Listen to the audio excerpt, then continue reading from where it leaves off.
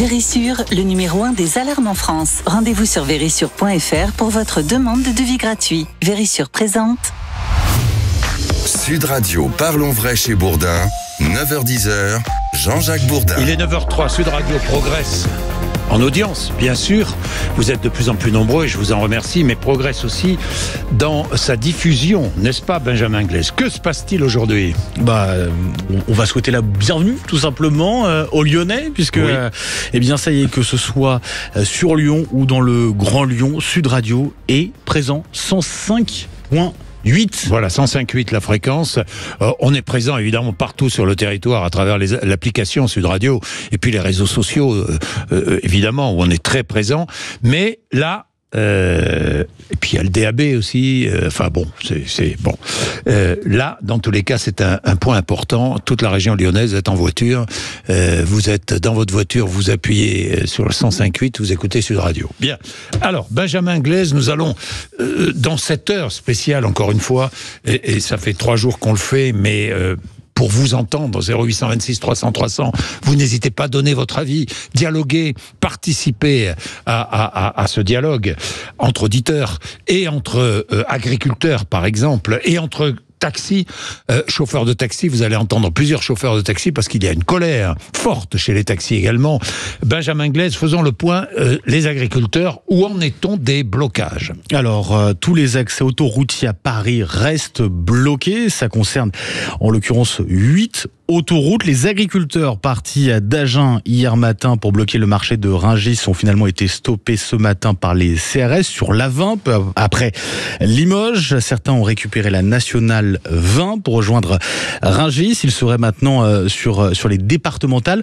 En région, une douzaine de blocages aujourd'hui contre une vingtaine hier. Blocage toujours sur l'A6 à Lyon. On annonce eh bien, que euh, ce passage sera bloqué pour toute la semaine. Blocage également en Bretagne, notamment sur la RN12, dans la Drôme, sur l'A7, en Haute-Savoie, blocage du péage de Cluse, sur l'A40, et puis en Haute-Garonne, la FDSEA qui appelle eh bien, ses adhérents à bloquer l'aéroport de Blagnac à partir de ce matin, à partir de 9h. Ça a donc euh, eh bien, commencé il y a peu de temps.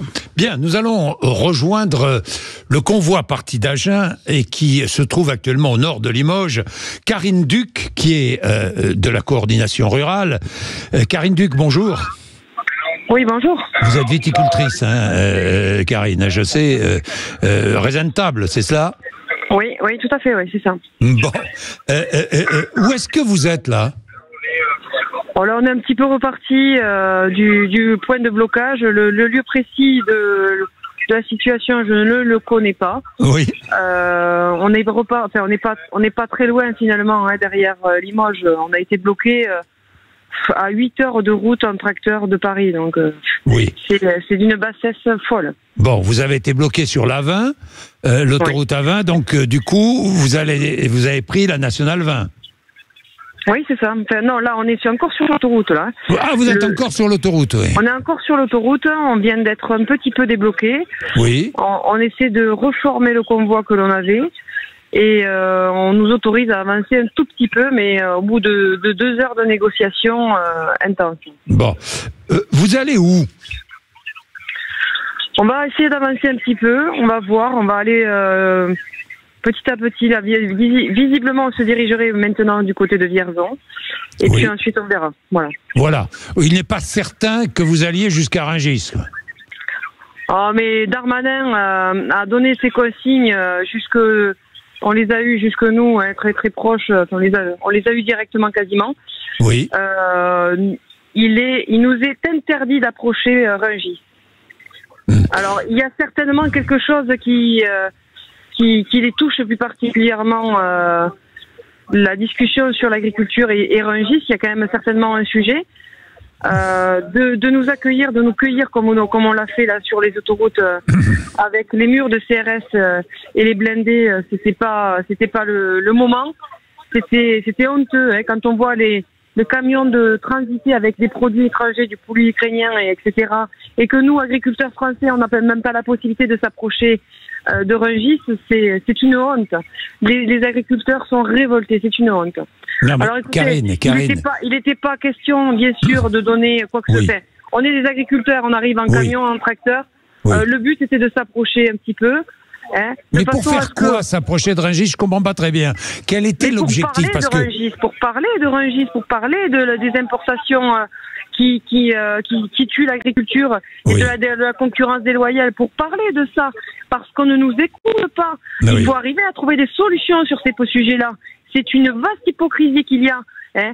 On, on importe à outrance des produits et nous on crève quoi. Mais si s'ils veulent qu'on crève, mais ils ont qu'à le dire de suite. Moi, je rentre dans mon département et je dis, bah, écoutez, vous pouvez prendre la corde, c'est bon. Ils ne veulent plus de nous, quoi. hein. Bah, Karine, Karine, donc vous euh, allez jusqu'à Vierzon, vous allez essayer d'aller jusqu'à Vierzon, et ensuite à Vierzon vous déciderez si vous continuez ou si vous rebroussez chemin. Écoutez, on verra à Vierzon ce qui se passe, mais on n'a pas, on n'a pas l'intention d'arrêter notre mouvement, évidemment Oui. que non. Il faut qu'on mais- ait des réponses. Il vous faut êtes que en tout le monde mouvement de arrive à toute façon, puisque vous Il faut- roulez. vous- Oui. Oui, mais il faut que tout le monde arrive à, se- à, à sortir de cette situation avec des Oui. solutions. Bon, On ne alors- demande pas la, la révolution, hein, que le gouvernement se rassure. Évidemment, on est des agriculteurs, on n'est pas des gens. Surtout euh, on pas des terroristes, surtout, on pardon, pas des Karine. terroristes, quoi.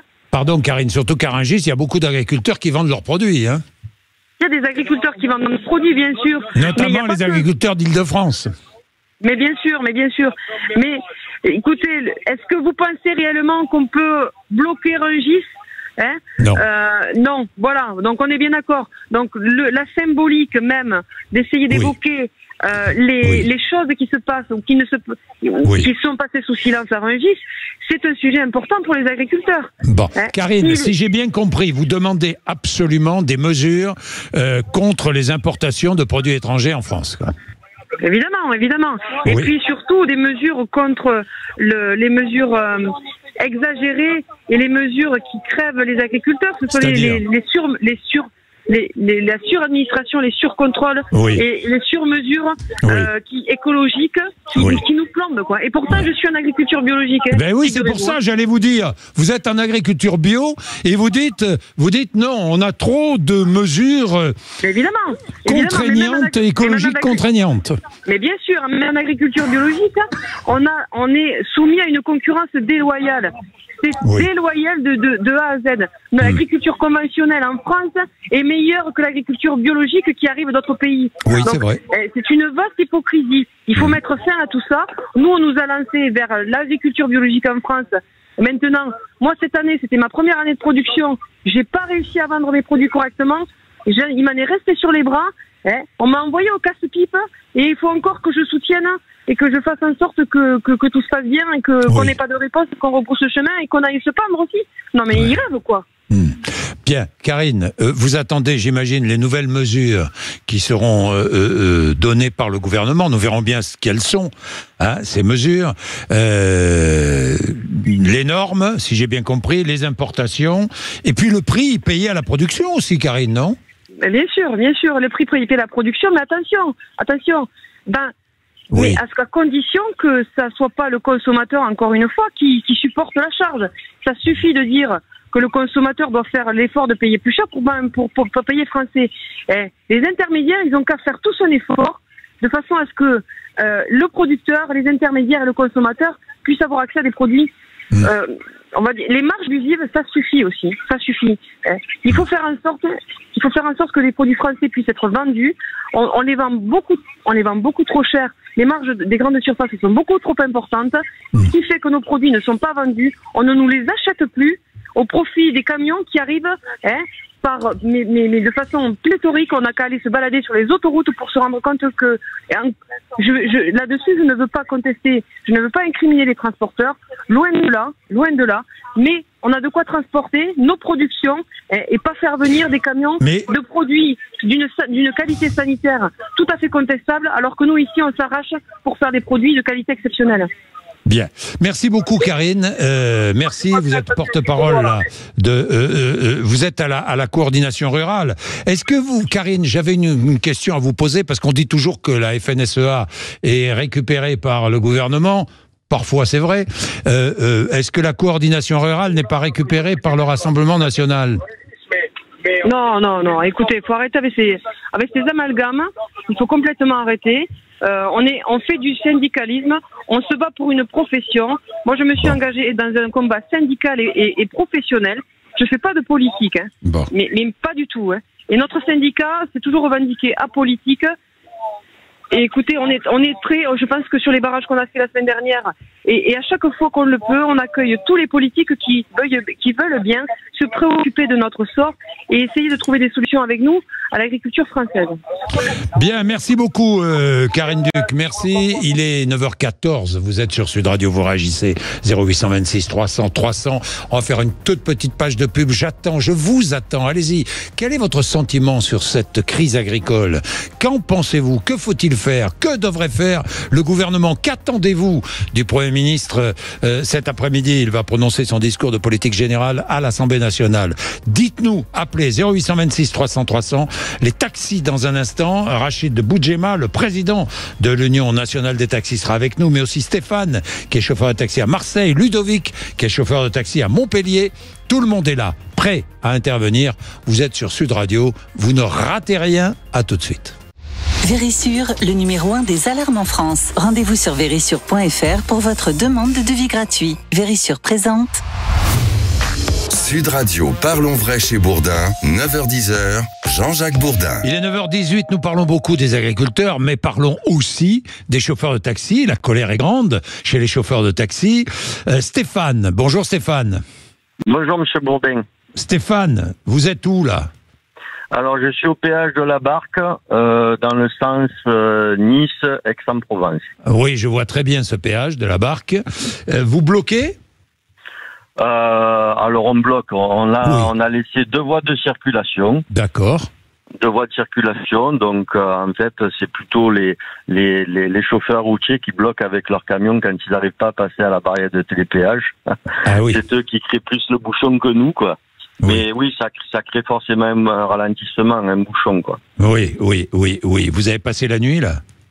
J'ai passé la nuit, tout à fait, ouais. Euh, pas très bonne nuit, hein, il a fait froid. Euh, oui. Puis on dort pas bien dans, dans les voitures. Bah, en tout cas, je tenais à vous remercier, Monsieur Bourdin, déjà. Euh, de, de, de, me rappeler. Et puis, euh, vous êtes vraiment une radio super, quoi. Sud Radio, continuez comme ça. Hein. Ben, on va continuer, vous inquiétez pas. Euh, nous sommes indépendants. Euh, je, personnellement, j'ai toujours été, donc ça me change pas beaucoup.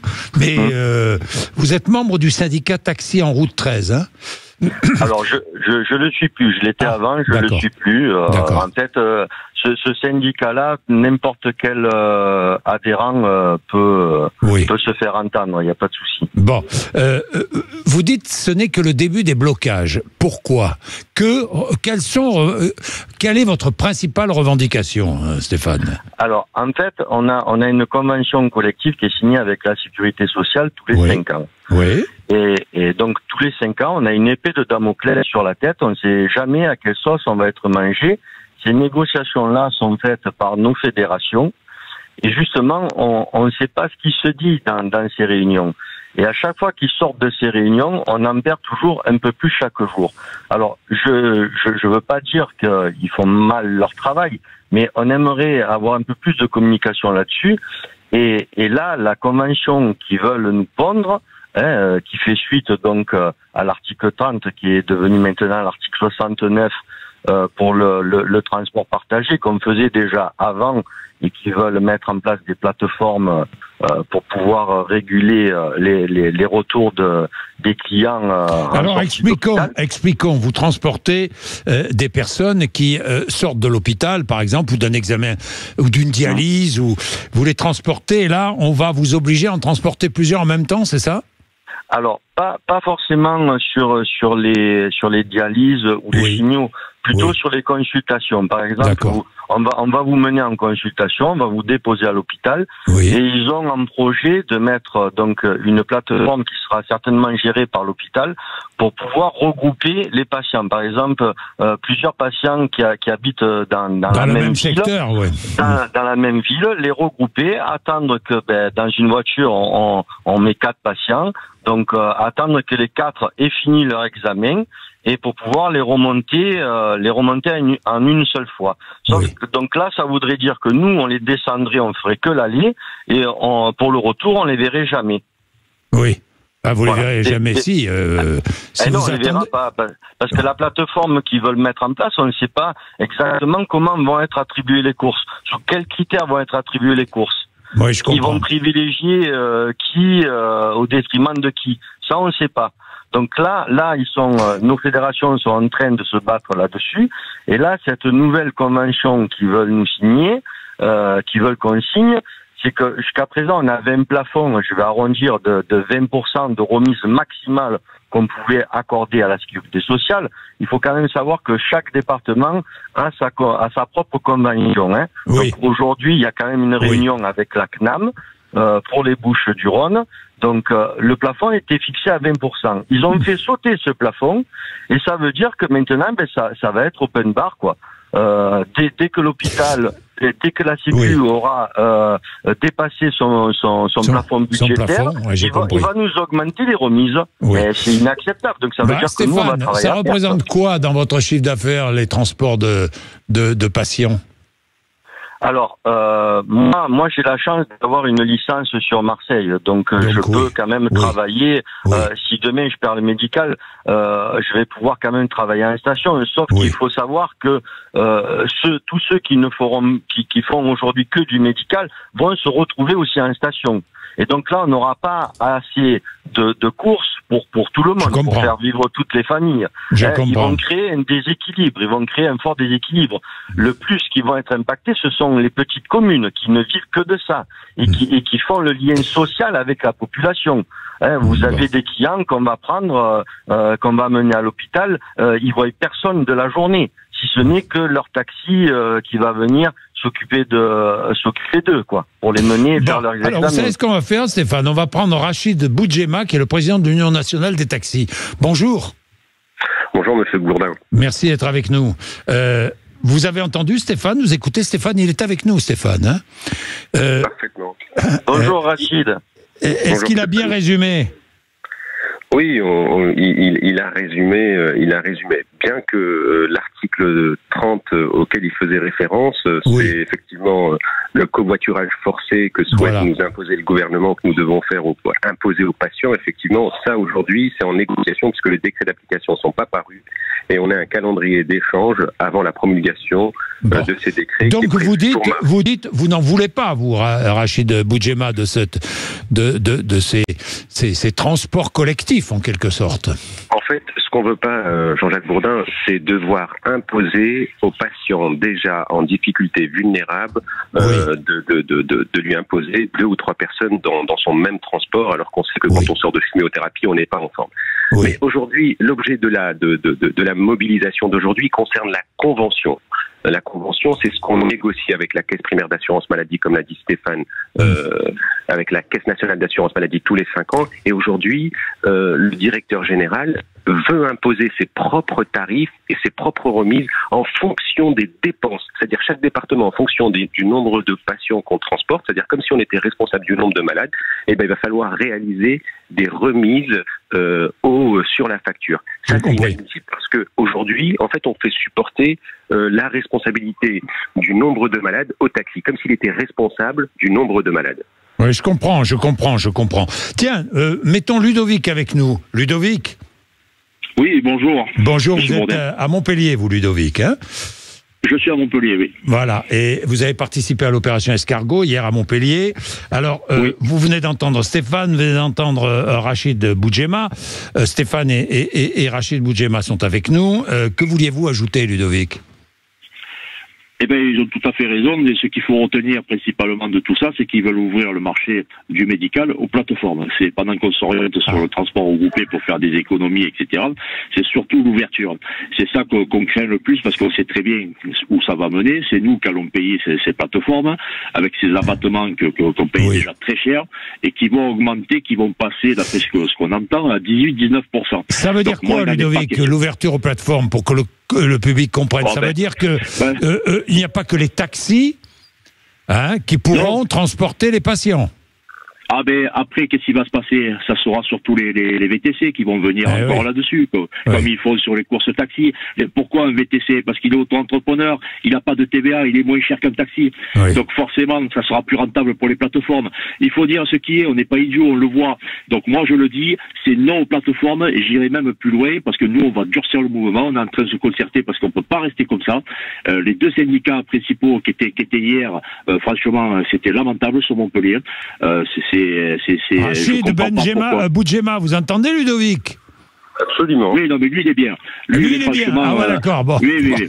Ça Non, va non, alors. UNT. UNT, franchement, euh, il n'y a plus que, on, on se repose sur eux parce que euh, aujourd'hui, euh, voilà, vous avez le champ libre, prenez-le parce que on sait vraiment plus quoi faire. hein. Donc le mouvement, il va se durcir parce que on nous prend pour des imbéciles, on veut pas nous recevoir. Oui. Euh, Oui. Voilà, parce que nous, on n'est pas des représentations euh, sy- syndicales, donc euh, on ne Oui. reçoit pas.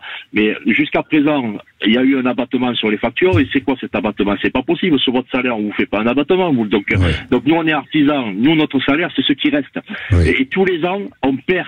On perd du terrain, donc il y a la concurrence déloyale qui est un autre sujet, mais Oui. ça existe et, et ça va être lié euh, au sujet du médical. Alors, on le pas sait. de le plateforme. Rachid Boudjema, pas de plateforme.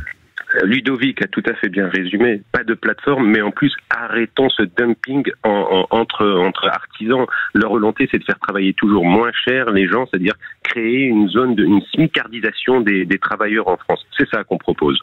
Bah, le problème, c'est que euh, le gouvernement va faire faire des économies à la sécurité sociale. Quoi.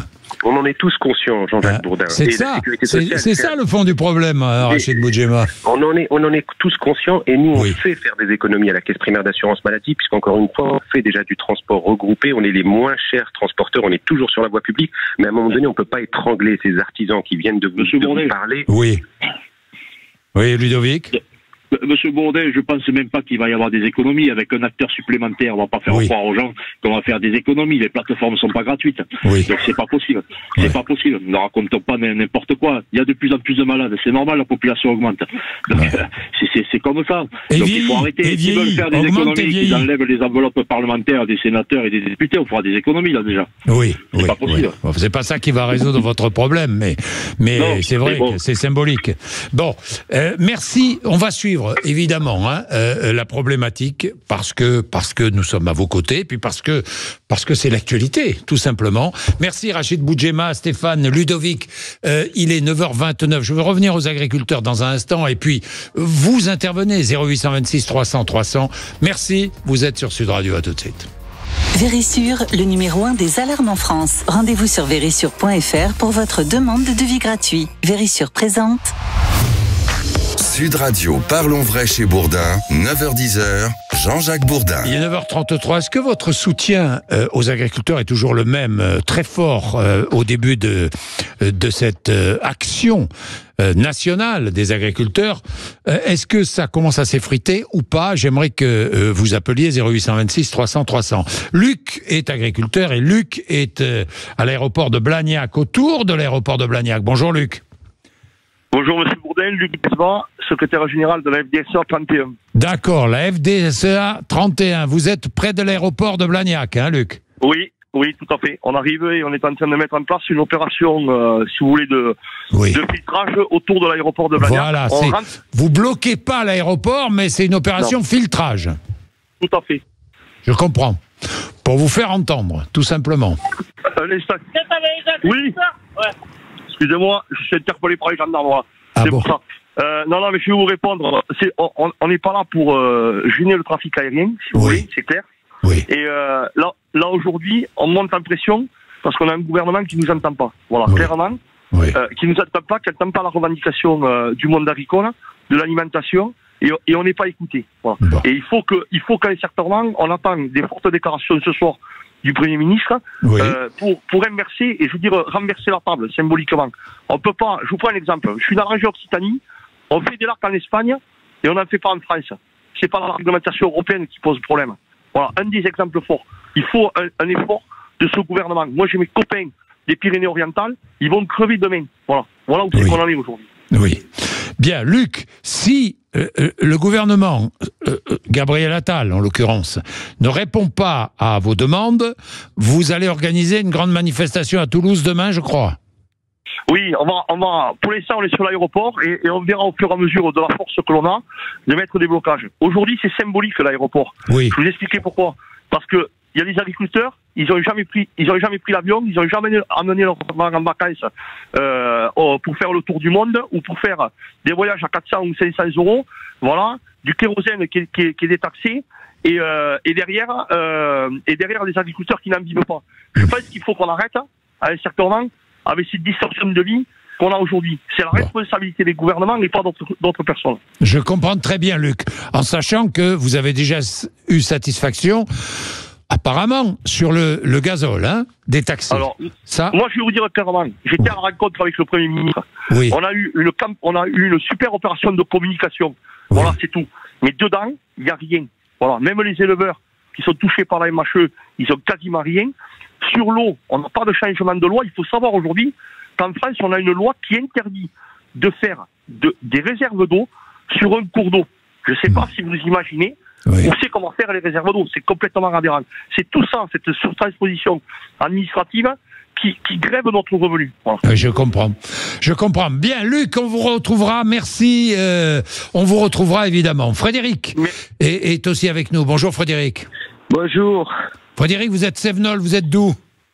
Je suis euh, de Tornac, Durfort, euh, j'habite Ouais, à Durfort je et connais bien, à hein. Tornac. J'ai passé toute, toute mon enfance, ma grand-mère habitait à Massière-Gatuèche, donc c'est pas très On loin. le hein. sait, on le sait. Et puis vous, le, des sa- ah domanes. bah, vous le savez. Bon, bah, Frédéric, oui, c'est Oui. mon pays. Bien, Frédéric, alors, vous êtes de Tornac, vous êtes monté à Paris, je crois. Oui, c'est ça. Qu'est-ce que vous faites à Paris?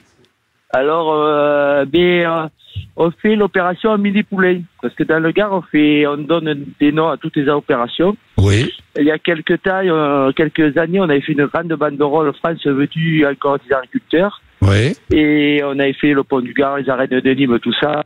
Et là, on a décidé en soutien, euh, parce qu'on peut pas monter un tracteur jusqu'à Paris, Oui. on a décidé euh, de faire une opération à mini poulet avec tous les bâtiments de Paris. C'est-à-dire, Voilà. opération Amélie Poulain, c'est-à-dire que vous Et- mettez des, vous mettez des banderoles sur tous les bâtiments. On met une grande, on dé- notre banderole, on l'a détachée de notre cadre de base à Nîmes.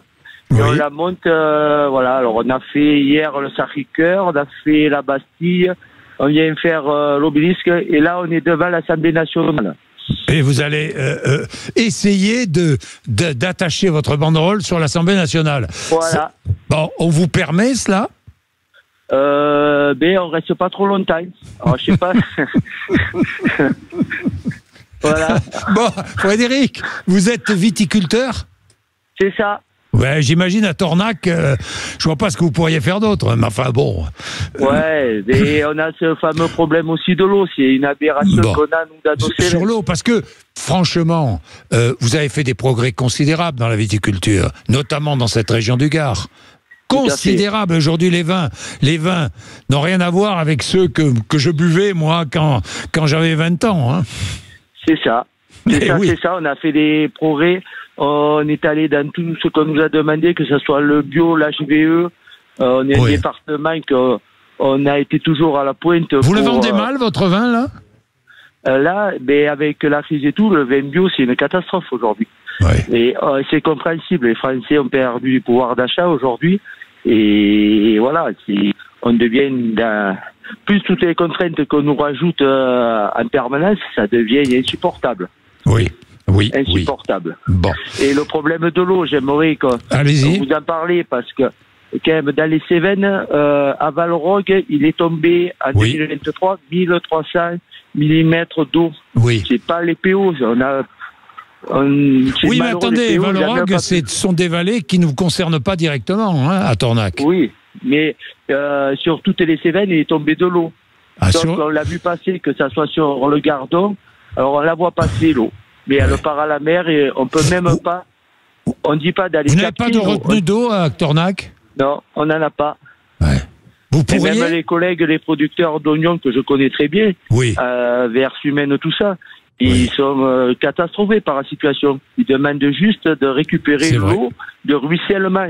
On Mhm. parle pas de prendre de l'eau dans les nappes phréatiques. Oui, oui, oui, de ruissellement, l'eau qui tombe. Voilà, l'eau qui tombe. Ouais, et ouais. ben on la voit passer, et elle part deux heures après, elle est à la mer. Mais je sais ça, je sais. Ben, merci Frédéric. euh, Merci à euh, vous. euh, merci. Et Oui. Bon courage. Et quand on aura sauvé l'agriculture, il faudra sauver Nîmes Olympique. Oui, ça, vous avez raison. Ça, Frédéric. mais euh, on s'y emploie. Mais il faut pas être pressé. Mais on s'y emploie. Ne vous inquiétez pas. Nîmes Olympique, euh, sportivement, on va déjà essayer de réussir la saison sportivement. Et Oui. puis nous verrons après comment et nous verrons comment euh, sauver le club. Bien, merci Frédéric. Merci, merci. Merci. Merci. Patrick. Bonjour Patrick. Oui, bonjour. Bonjour. Euh, Patrick, vous êtes euh, vice-président de la Chambre d'agriculture du Lot-et-Garonne, hein, c'est cela Allô Patrick Je ne vous entends plus Patrick. Patrick Allô est sur la route. Oui Patrick Vous m'entendez Oui. Oui. Vous êtes où là Patrick? On est proche de Châteauroux. Ah, vous avez bien progressé alors Mais difficilement, mais écoutez, on joue un peu cache-cache avec les forces de l'ordre, mais on, y arrive, on y arrive. Vous êtes à la tête du convoi parti d'Agen vers Rungis. Mais Oui, faire la tête, oui, oui, de par- parmi le convoi, oui, tout à fait, oui, c'est ça. Oui, je vous dis ça parce que tout à l'heure j'ai eu Karine Duc qui me dit on va faire le point à Vierzon. Il n'est pas sûr qu'on aille sur sur Rungis. Écoutez, on est, mais écoutez, là, les forces de l'ordre essaient de nous stopper, donc on a, le groupe s'est un peu divisé, c'est un peu scindé en trois ou quatre, Oui. et chacun avance un peu comme il peut. Oui. Mais euh, voilà, l'objectif quand même, ça reste à la Paris. Mais évidemment, si on est vraiment empêché de manière physique, euh, on va pas se battre Oui. les forces de l'ordre. Bref, ça j'imagine. Non, mais ça, ça vous êtes vous responsable, euh, j'imagine. Voilà, hein. tout à fait, tout à fait, tout à fait. Oui. Eh, Dis-moi, dites-moi, Patrick, euh, vous êtes vice-président de la Chambre d'agriculture du Lot-et-Garonne, parce que Oui. l'objectif de Rungis, j'ai pas très bien compris pourquoi vouloir aller à Rungis. J'ai pas très bien compris ça. L'objectif de tous les syndicats, c'était d'isoler la capitale un petit peu, donc, Oui. et, euh, et de manière physique. Hein, donc, et Rungis fait partie aussi de ça. Rungis, c'est symbolique parce que c'est le, c'est le cordon, le cordon ombilical de la capitale. Donc, si on, si on pince le cordon, euh, Pas que de la capitale, hein, je peux vous dire, Rungis, c'est parce et que. au-delà, je crois que oui, effectivement, ça, ça sert 18 millions d'habitants. Euh, oui, oui, 18 Donc, millions euh, d'habitants. Oui. C'était symbolique à deux titres, euh, donc ça, ça, ça, effrayé un peu les Parisiens et les, les autorités, ainsi que les politiques. Mais Oui. évidemment qu'on veut pas affamer les Parisiens, on veut juste leur montrer que si, si Rungis était stoppé, euh, ils auraient, ils auraient, les, Paris- les Parisiens auraient vite, auraient vite faim. Oui. Et euh, Eh donc oui. l'objectif était essentiellement là, c'était euh, de mettre la pression sur la capitale pour qu'ils pour qu'ils cèdent. pour le problème, c'est que si vous nos- bloquez Rungis, ils vont se précipiter dans les hypermarchés les supermarchés pour acheter des produits qui viennent d'ailleurs. hein. Euh, Euh, écoutez, ça, euh, et on changera pas les choses de ce côté-là, mais, ouais. mais vous savez, le, le, le problème de l'agriculture, c'est essentiellement les, les importa- les importations Ben oui, de produits ça. qui sont qui sont pas euh, produits dans le même dans le même, avec le même cahier des charges que ce qui est fait en France. Ça, c'est vrai. euh, Ça, c'est vrai. euh, la solution est simple. Hein, euh, si vous voulez plus entendre parler d'agriculture, bien, que, le- que, le- que nos gouvernants, que l'Europe, euh, que nos politiques euh, filtrent un peu ce qui arrive, dans, ce qui se passe nos frontières et, euh, et appliquent les mêmes règles sociales et, euh, Et- environnementales et fiscales que, qui Ouais. sont appliquées chez nous. Et le problème sera réglé. Hein. Écoutez, la, la, la, la, la concurrence, la concurrence déloyale qu'on dénonce depuis des années, elle, elle sévit toujours, malgré que chacun en ait conscience, mais rien ne se passe. Et c'est- bien notre colère. Écoutez, la Oui, solution est facile à trouver, et facile à appliquer, mais est facilement à trouver, mais elle est difficilement applicable parce que Euh, bien sûr, bien sûr, bien sûr. à- Mais Patrick, à- Patrick, Oui. Patrick, euh, si euh, tout dépend de ce que va dire le Premier ministre, j'imagine. Euh, si il satisfait une partie de vos revendications, vous vous arrêtez, et vous repartez dans l'autre sens?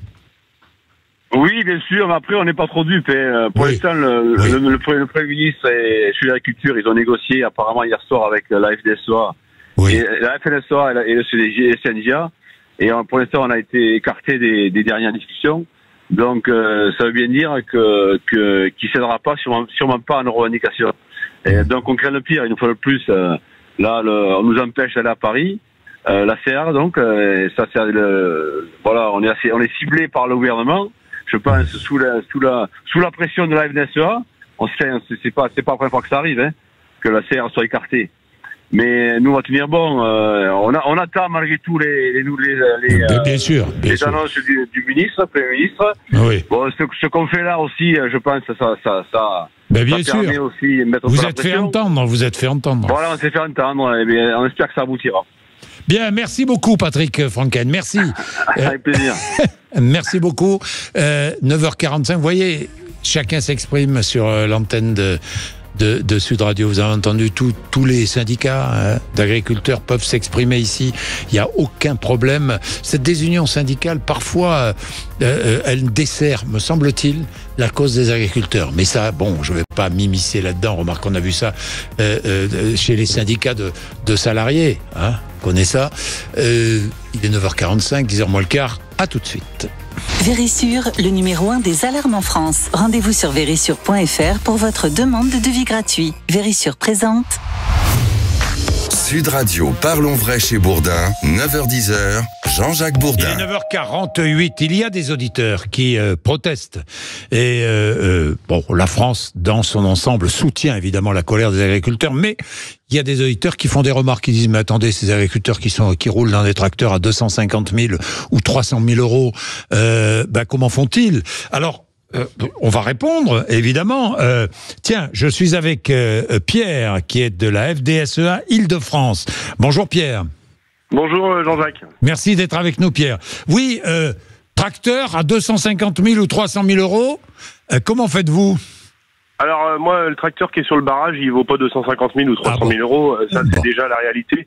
Euh, et puis, et puis, ça reste notre outil de travail. En fait, c'est pas, c'est pas notre voiture de tous les jours. Euh, quelle que soit la valeur de, de qui peut qui peut avoir ce tracteur-là, euh, c'est notre outil de travail en fait, et, et c'est euh, c'est bien ça le sujet. C'est euh, et nous on est visible qu'à partir du moment où on manifeste avec notre tracteur. Donc évidemment, faut sortir ce tracteur-là. Mais mais quelle que soit la valeur du tracteur, en fait, on va pas discuter de la valeur du four du boulanger ou de la valeur de de du micro que vous avez ou je ne sais quoi. Bah, bien sûr, je comprends. Aussi, quoi. Je comprends, mais j'ai eu cette remarque plusieurs fois. C'est pour ça que des, des auditeurs qui nous ont fait cette remarque. Pierre, vous êtes sur quel barrage alors là, je, moi, je suis sur mon exploitation dans la journée. Euh, j'étais euh, hier à la mise en place sur, sur la A10. Euh, je suis au pilotage pour la, la, nuit à venir sur la A10. voilà. Bon, vous êtes au pilotage, vous barrez, vous barrez totalement ou ce sont des barrages filtrants? Alors, ça reste filtrant puisqu'on est installé au niveau d'un échangeur. Enfin, tous les barrages, euh, la plupart sont situés au niveau d'échangeurs ou d'air d'autoroute, etc. Donc, ça permet d'avoir une circulation très très réduite, mais une, garder une circulation quand bien même. Sûr, bien sûr. Euh, après, euh, après, euh, on, enfin, on a tous, on a tous des, des, des amis, des, des, des, conjoints, des, des, des, collègues, etc. qui sont qui, qui ont besoin de prendre la route aussi et qui circulent. Euh, et qui sont euh, pris euh, aussi dans, dans cette situation-là. Je veux dire, c'est pas, on n'est pas là pour emmerder les gens, mais effectivement, c'est malheureusement la stratégie de bordélisation qu'a orchestré le gouvernement nous oblige à en arriver là, quoi. Bien, mais Pierre, Pierre, qu'est-ce que qu'est-ce qu'il faudrait pour que vous rentriez dans vos dans vos exploitations? Bah, un peu de un peu de reconnaissance euh, du gouvernement parce qu'en fait les les, les, les, les fausses déclarations et les fausses euh, euh les, premières mesures ne vous vont pas? Non les premières mesures il y a des choses satisfaisantes dans les premières mesures sauf que euh, c'est un mal profond qui dure depuis des années et des années. Euh, et, et, en fait, tout ça euh, est un ras-le-bol général. Euh, et sûrement, il y a des mesures qui ont été prises qui étaient la goutte d'eau qui faisait déborder le vase, notamment concernant le GNR. Mais euh, tout le reste était dormant depuis des années. Et en fait, la colère des agriculteurs n'a pas été entendue à sa juste hauteur. En fait, c'est pas, pas une manifestation des agriculteurs, c'est une fronde des agriculteurs qui est aujourd'hui organisée et gérée. les agriculteurs ont pris leurs responsabilités. que vous ayez sur n'importe quel point de barrage tout autour de Paris, le, les choses sont organisées de manière responsable euh, charge au gouvernement de prendre ses responsabilités. Vous êtes à la FDSEA, vous avez peut-être entendu la coordination rurale qui dit, mais de toute façon, la FDSEA, ce sont des, des alliés du gouvernement, euh, sont les seuls à négocier avec le gouvernement, pas nous. J'entends, alors moi, voilà, je, je, je rentre pas dans la stratégie du gouvernement de parler à un tel ou pas un tel. En fait, ça fait partie de la stratégie du gouvernement, peut-être de diviser les choses. Euh, moi, je pense qu'il faut qu'on garde tout sa tête froide.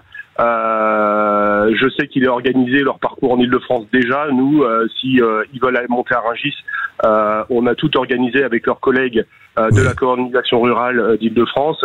ils sont en relation.